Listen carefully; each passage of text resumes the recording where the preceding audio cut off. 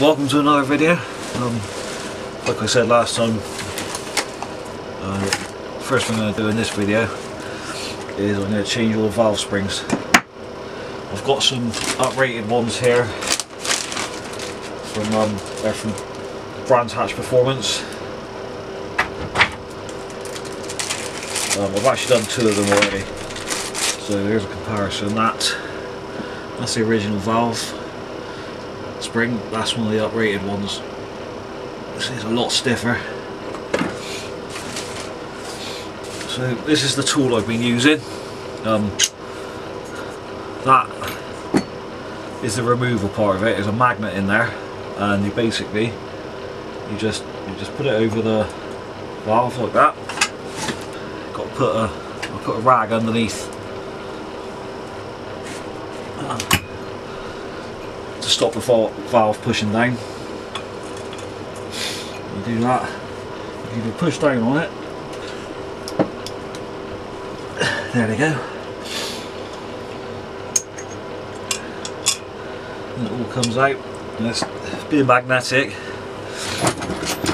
The valve keepers are down in there, so I take another little magnet like that and take the valve keepers off. Valve keepers out.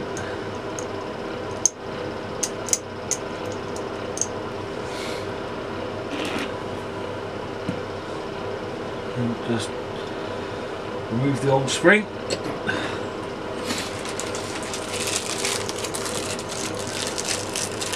I mean, this this would be an ideal time to do the uh, valve seals as well.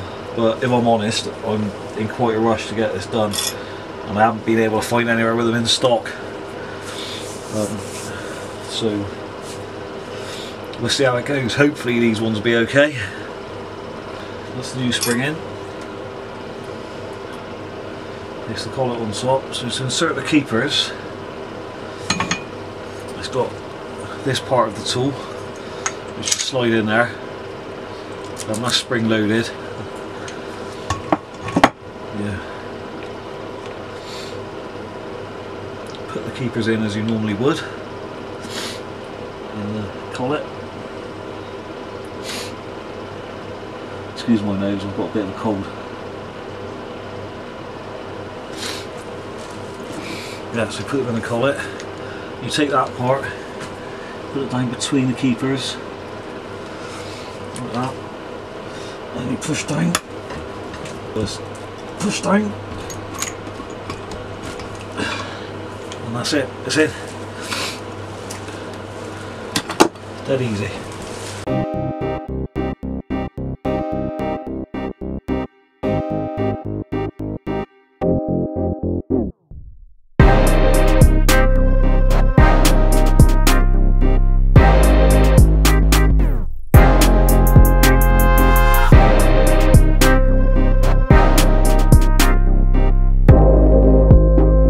So my battery ran out of my camera, but um, that's them all done now. Uh, that's all the old ones in the bag there. Um, yeah, so now what I'm going to do, I'm going to clean the faces up. I've already done that.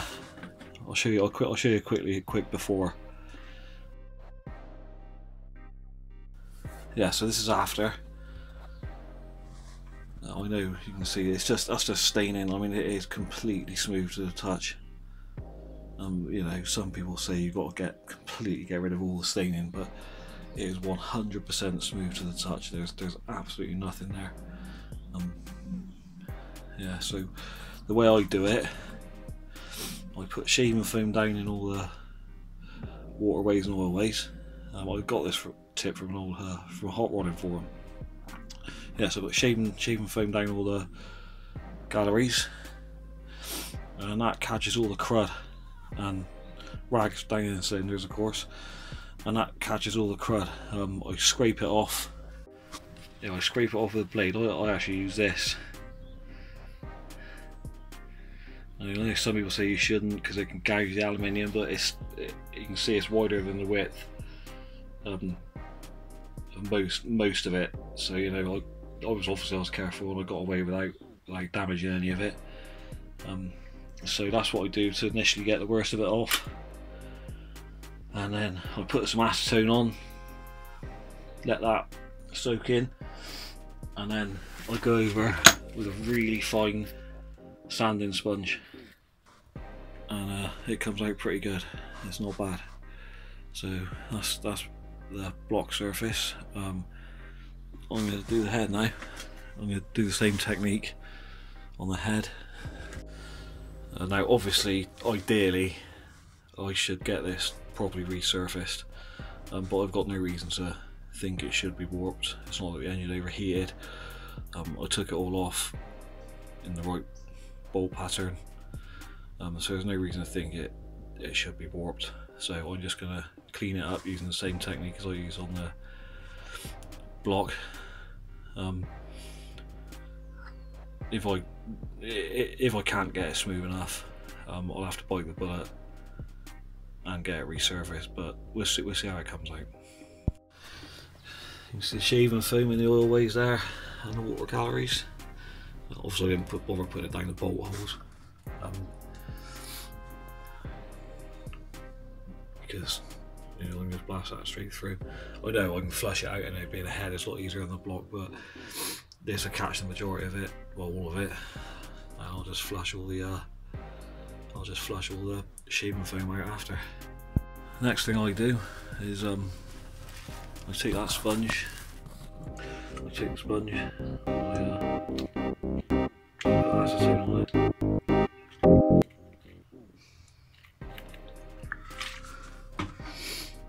And what we do, we sponge all the acetone, sponge all the acetone into the surface of the head gasket material. Get good and soaked.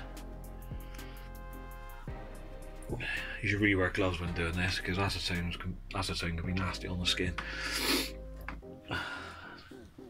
So yeah, let that soak um, for a bit. Um, and then when it's soaked, oh, it's probably not going to come off great in a minute because I know it's soaked a lot, soaked for long, but when it's soaked, I just scrape.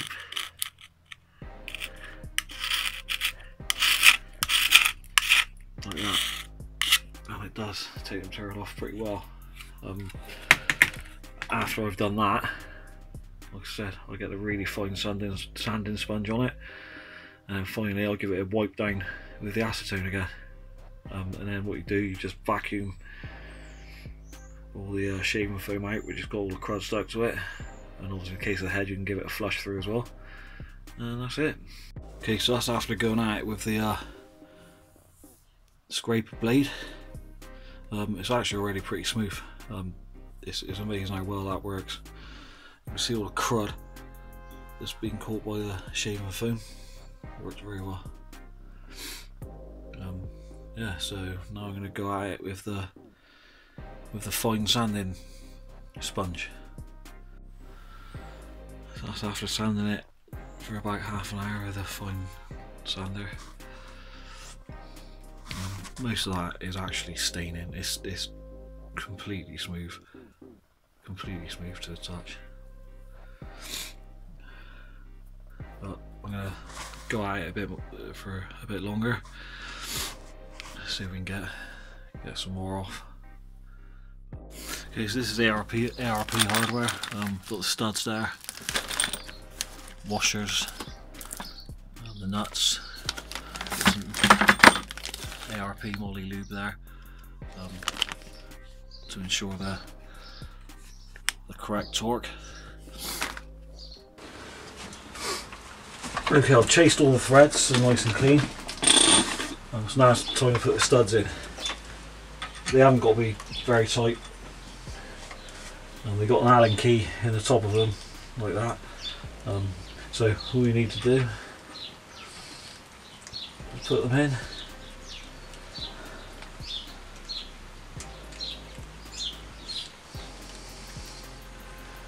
And put them in until they get to the bottom of the thread. And that's it.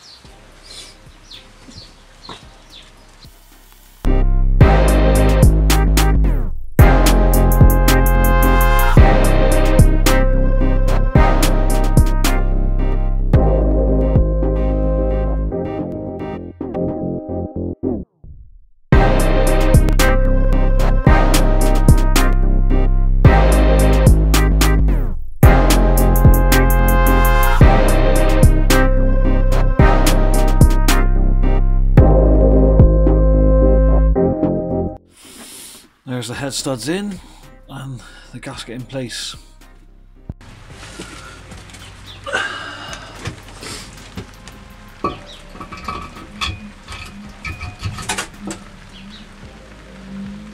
Lovely.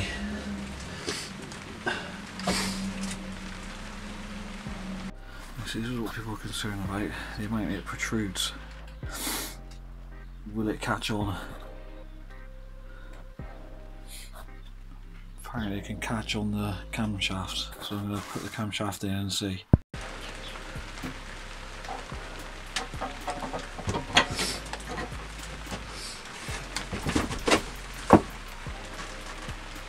Yes, it is on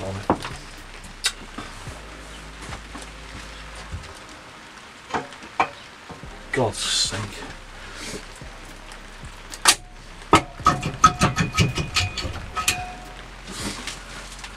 Okay, the problem I had there is this stud is too long.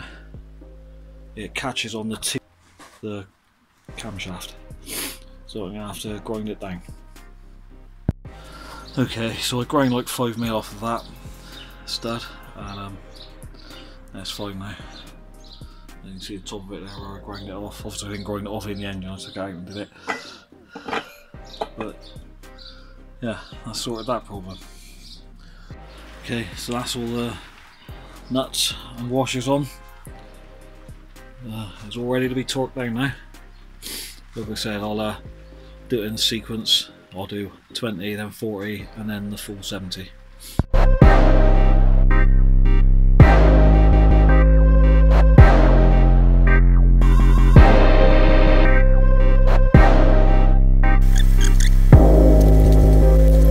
Okay, so my battery ran out on my camera, but uh, that is all torqued down now.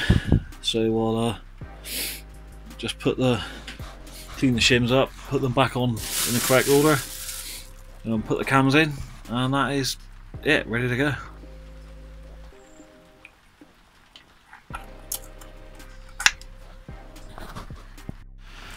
So all the buckets reinstalled in the same order they come out. Yeah, that's a camshaft in. Also put the caps on in the exact same order they came out.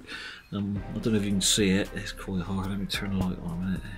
Possibly be able to see it. Yeah, you can. Those two little dots, they need to line up when you're putting it back in. Um, it's not too, it's dead easy. Um, yeah, so that is those in now. Um, they're all torqued up. I've just got to put the seal in that end and obviously I've got to take the little the little bolt out there. Can't forget that. There I just spun the cams around now so I can access this bolt. Just take that out and then put the seal in over there. And that is this bank done. Okay so that's that's that finished. Obviously I've got to do the other bank. Um, I won't cover that in any sort of detail. You don't want to see the same thing all over again. Um, but the next video will be showing the rest of the engine being put back together. Um, cam belt uh, all the rest of the other accessories, um, intake, cam covers and whatnot. Um, yeah, and then it'd be a case of taking the other engine out um, and putting this one in. Uh, yeah, not too far now. So, you know the drill. Like, comment, subscribe. Um, and yeah, see you in the next video.